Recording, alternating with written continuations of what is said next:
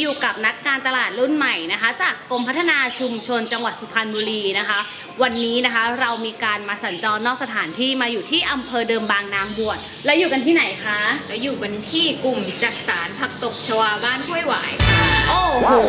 นะคะ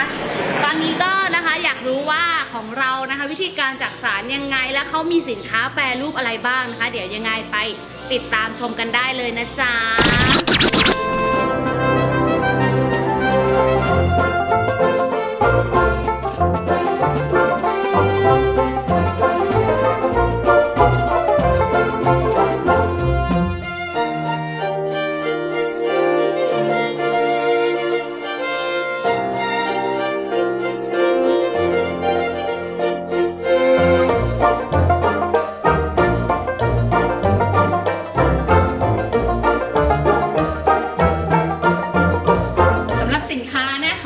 มีตะกร้าใส่น้องแมวค่ะ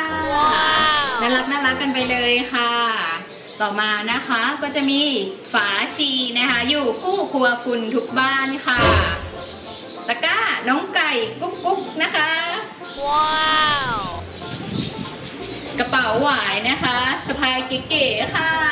ว้าวแล้วก็ตะกร้าหวายนะคะ มีกันให้เลือกถึง 2 ขนาดเลย ว้าว